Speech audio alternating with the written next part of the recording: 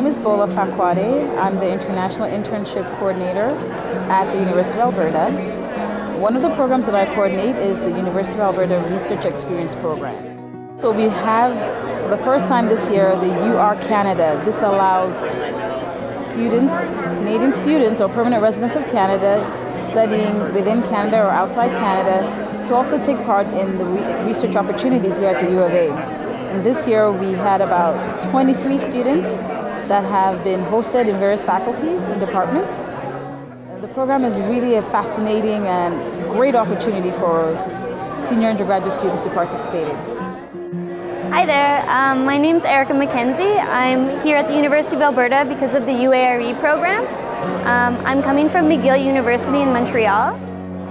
Hi, I'm Danielle Peters. I'm from the lab of Dr. Jonathan Dennis um, with the Biological Sciences program.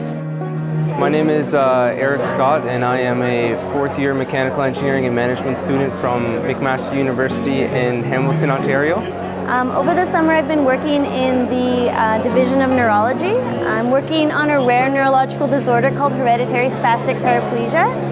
Um, and this disorder causes patients to have uh, lower limb spasticity and weakness.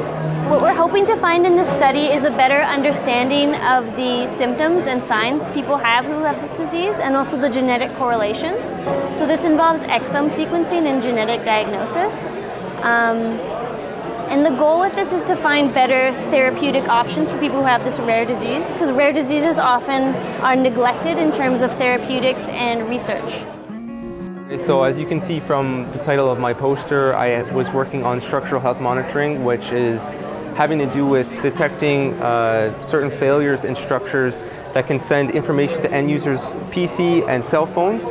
And this is funded by Imperial Oil, one of the major oil companies in Canada.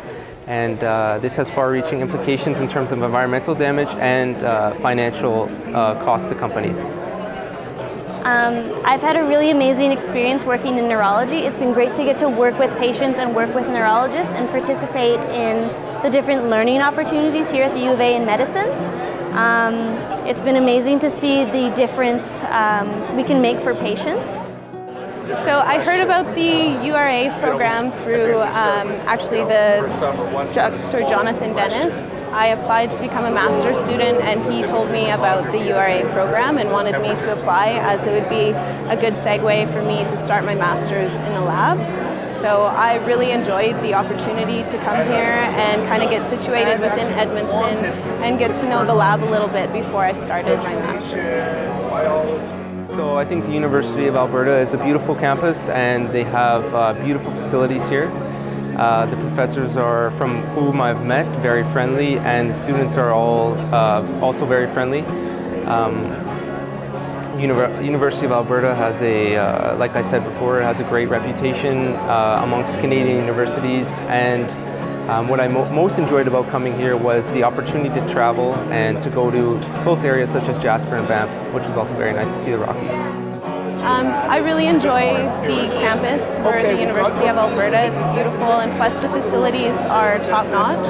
Um, I feel very honored to work in the lab that I'm working in in the Centennial Center for Interdisciplinary Sciences. U of A is a beautiful campus. Um, I've really enjoyed it.